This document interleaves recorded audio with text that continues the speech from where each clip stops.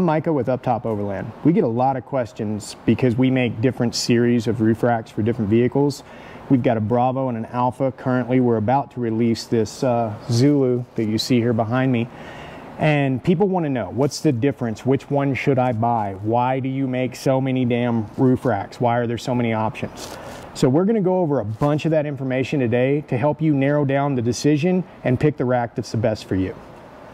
So a quick breakdown of this, if you will. So this truck here, it's the third gen Tacoma. This is a Bravo roof rack. It's only available in black, right?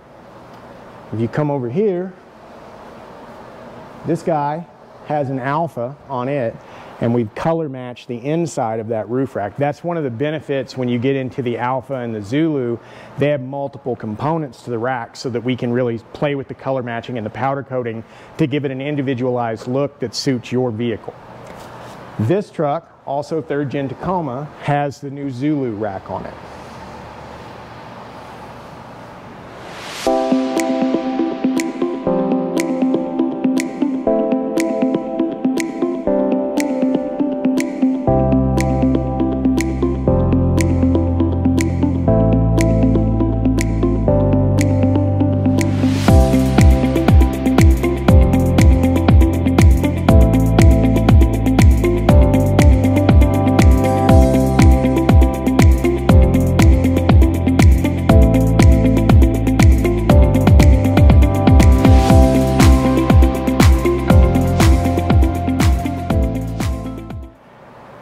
Start by talking about the Bravo rack. It's definitely our number one seller because it hits a price point that everybody can get down with.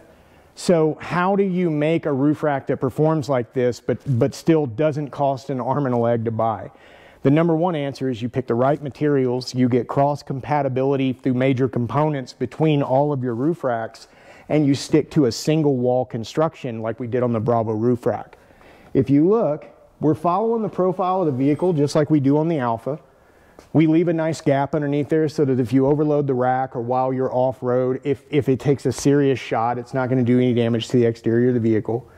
It's got the same crossbars going across the top. So if we follow this line where you see this hardware here, every spot that you see that there's a crossbar that goes across that vehicle and that's where he's got his storage cases, MaxTrax, stuff like that all attached to.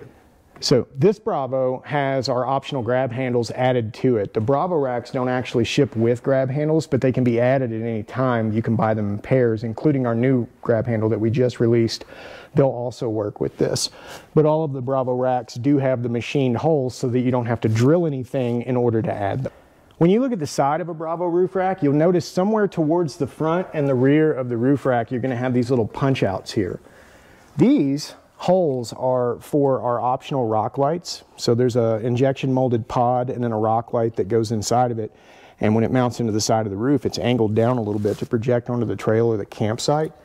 And you can add them just by simply cutting out this little tongue here and here, and then that pod will flush mount right inside of there, and then you mount it with two screws.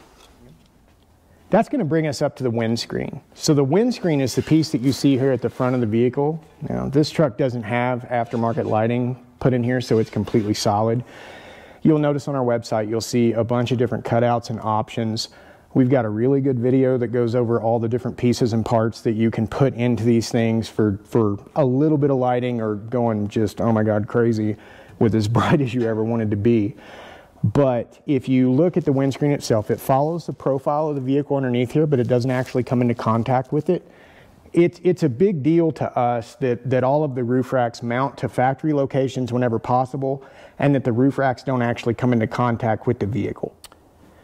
So the next feature with the windscreen, because we, we, we spent a lot of time working on these things, different angles, different slopes, different cuts across the top, trying to make these racks just as quiet as possible, right? Because you're, you're banging down a trail at 15 miles an hour, that's not a big deal, but you're going to take that same truck down the interstate at 75 or 80 miles an hour. The racks have to be quiet. They can't vibrate. They can't add any induced noise to your ride that you couldn't drown out with the stereo. Nobody wants to drive around like that. So if you pay attention to our splitter, it's got an angle going down and an angle going here. So this angle catches oncoming wind, shoots it down underneath the roof of the vehicle, and allows it to go over the top of the truck, just like the vehicle would if it didn't have a roof rack on it. Now this upper wing here that's going back at the same angle as the front of the roof rack, this expels wind and pushes it up over the roof rack so that you can try and stay quiet once you've got this thing loaded with gear. So that pretty much sums up what makes a Bravo rack a Bravo. We've got to show you this guy to get you in the mindset of our Alpha and Zulu racks because this really represents like the core of our DNA. We make a, a rugged, durable roof rack that'll hold a ton of weight, that gives you a lot of options to grow lighting, handles, lighting in the front, wiring harnesses, different mounts and brackets. They're all going to be compatible across the entire catalog. So everything starts with the Bravo. Now I need to show you the Alpha. Come on, Corey. Bye.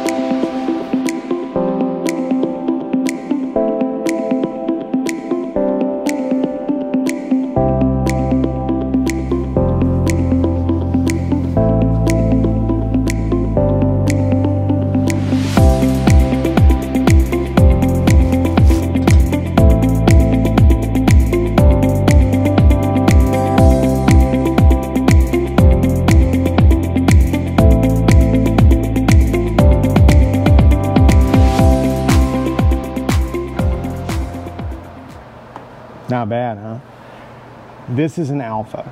So today in this video, we're showing you specifically 3G, uh, third generation Toyota Tacomas.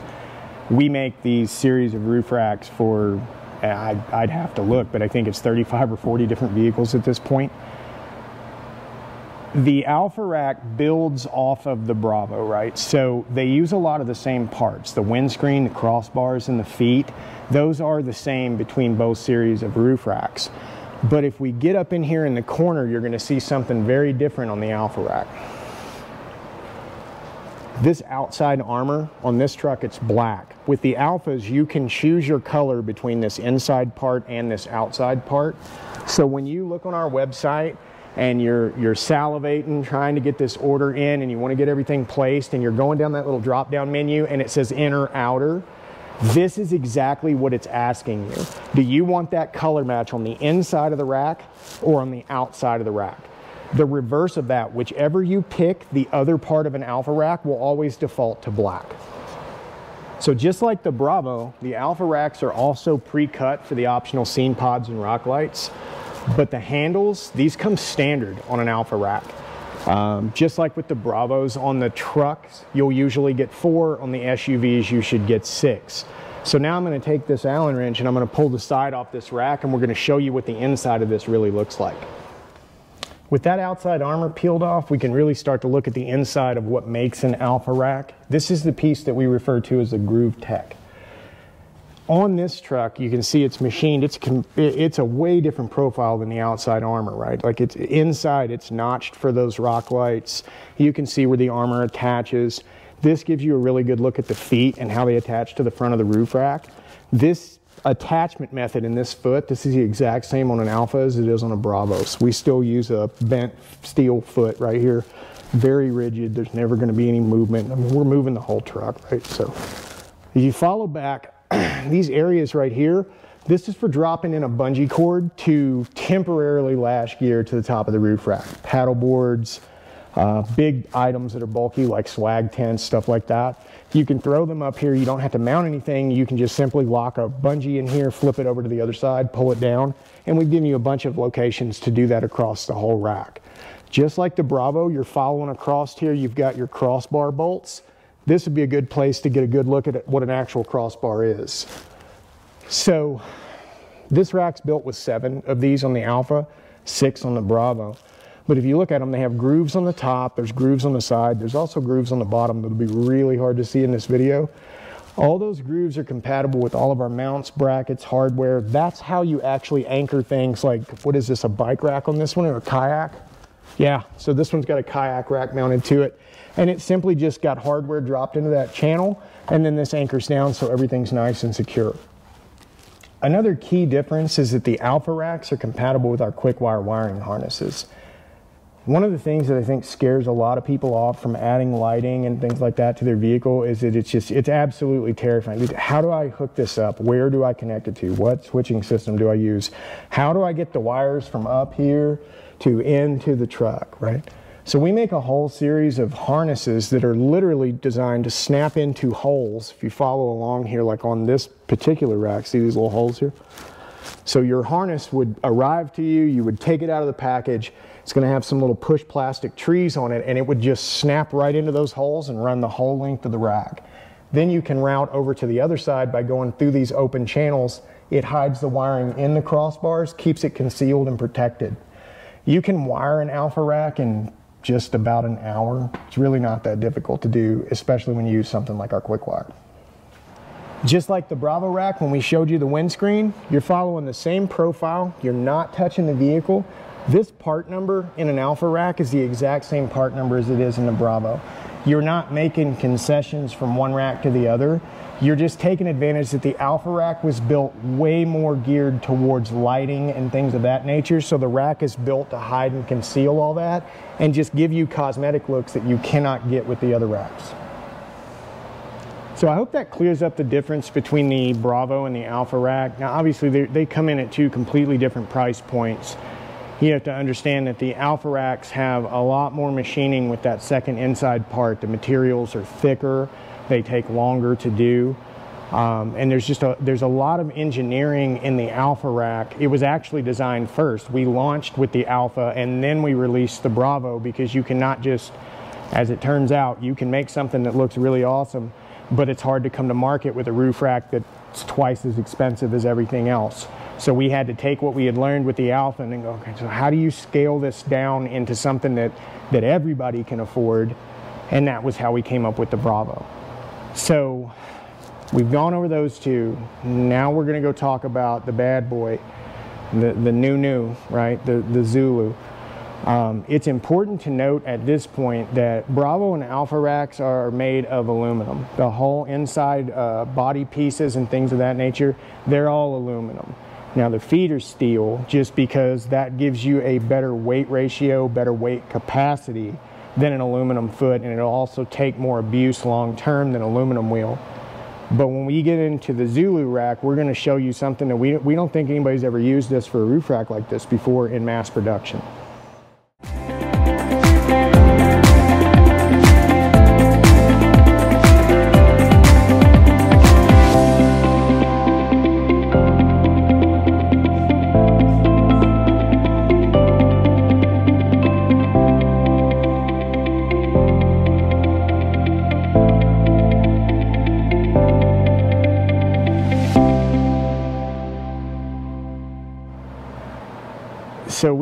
Been at this for four years now at this point, and we, we've made a lot of roof racks and a lot of bed racks.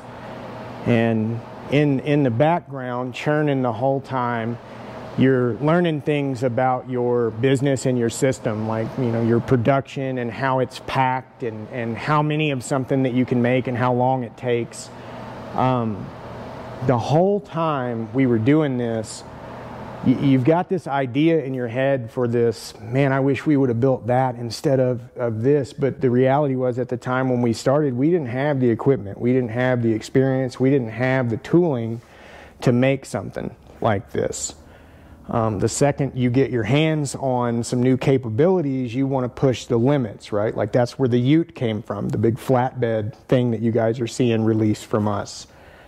The zulu is very much the same thing when, when you gain the capability to manipulate different materials, you, you naturally are going to want to see what you can do with that material. And the material that we've chosen for the Zulu rack, the, the inner parts that you see behind me that are in black back here that are formed and look really gnarly, that's all 304 stainless steel. So the first thing that's going to catch your eye when you see the Zulu is, is definitely going to be that formed side. So it's not just flat anymore, right? Like it comes up and it angles over and then it flips to the top. Where on our other roof racks, the load bars or crossbars, they anchor into the side right here. On the Zulu, they're all mounted from the top. It keeps this very sleek, and in my opinion, it makes it easier to adjust and move these load bars around in the slots because when you tighten up all that hardware, no matter how careful you are, you're going to mar that roof rack finish on the outside. So, say six months from now, you needed to move that crossbar to realign on another piece of gear, you could always tell where that hardware was.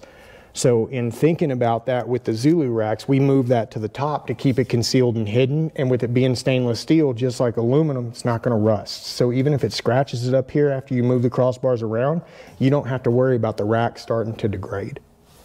So up on top of the Zulu, you'll start to see some major differences between the Zulu and the Alpha and the Bravo rack. On the Bravo and the Alpha, we showed you guys the feet and they mount to the vehicle and then they come out and then they fold up and then the sides of the rack are attached to that. On the Zulus, if you look down inside of here, everything's anchored inside of the drip rail, and then there's a two-piece foot. So we're almost a half inch thick here when all this is mounted together. And they're formed up and they actually support the load bars to move the weight distribution into the inside of the drip rails of the vehicle, which makes the rack just exponentially stronger and able to hold way more gear in most locations throughout the roof rack, you still have the ability to rotate the, the load bars between horizontal and vertical. In the Tacoma, you can mount the rear load bar horizontally so that it falls behind that factory shark fin antenna and it sits just above it. So if you're loading gear up here, one, your antenna is still exposed to the sky, so your, your XM, your FM, all that's still gonna get good stuff, but it's also protected. So if you needed to throw a sheet of lumber up here, you're not going to have to worry about scoring the top of that antenna with that sheet good.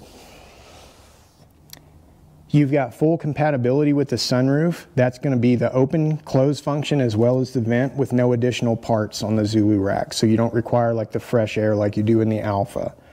Now the windscreen on the Zulu may look like the Alpha and the Bravo. Once you learn about vehicle aerodynamics and what's going to be a really quiet ride, you don't really stray from that, that, that shape but the way this mounts is completely different than the other roof racks. On the Alpha and Bravo, that, that's three bends per windscreen. So you have this bend at the bottom and then you have the two ears on the side that mount them into the roof rack. On the Zulu, there's a crossbar at the front of the roof rack and the windscreen actually mounts to that. It keeps the roof rack completely sealed out here at the corners instead of having a little gap for air to get through. This truck's got our 38 inch light bar installed in here, but you don't have to select which windscreen you want specifically in the Zulu roof racks. You are you are selecting the type of brackets that you would like to have. So when you see our drop down menu on a Zulu and it's saying no cut or up to 40 inch light bar, you're gonna get this windscreen. You're also gonna get this piece here, which I can't set in with this light bar here, but it keys in and mounts to that same front crossbar so that you can you can swap back and forth between cut and no cut. This is a big deal to us because back during COVID, when light bars took months to get, guys are ordering windscreens that are cut for a light bar, can't get the light bar, and the whole time it's installed, wind's just passing through those holes, just making noise and driving people crazy. So we thought kind of a hybrid windscreen where you could decide what you wanted to do and when you wanted to do it was a really cool idea that we incorporated into the Zulu, and I think that you'll start to see that in the Alpha and Bravo racks throughout 2023 and 2024. You've got some options on brackets. Now, all of the windscreens for the Zulus will naturally ship with these two brackets that you see here, which would allow you to mount the light bar to the front of the front load bar or to the load bar that the windscreen's mounted, and they're adjustable, so you can move things up and down or in or out. And we've got a whole series of brackets for the LPs from uh, Baja Designs, for Diode Dynamics, for Heretic, for all the big name light companies out there. And the last really cool feature for the windscreen on the Zulu is on the Tacoma, if you see that little notch right there, that's for the uptake. Just like the Bravo and Alpha, all the Zulu racks are ready to have optional scene pods and rock lights installed in the sides. And the Zulus all ship with our brand new handles. So you've got your urethane grippers, your mounting location, and your aluminum injection handles for the Zulu racks.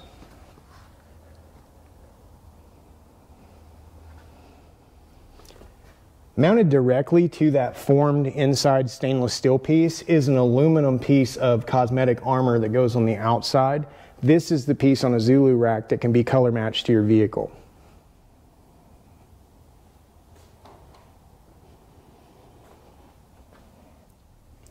The last thing to talk about on the Zulu rack is how you're able to incorporate the wiring inside the rack body like you can on the Alpha racks.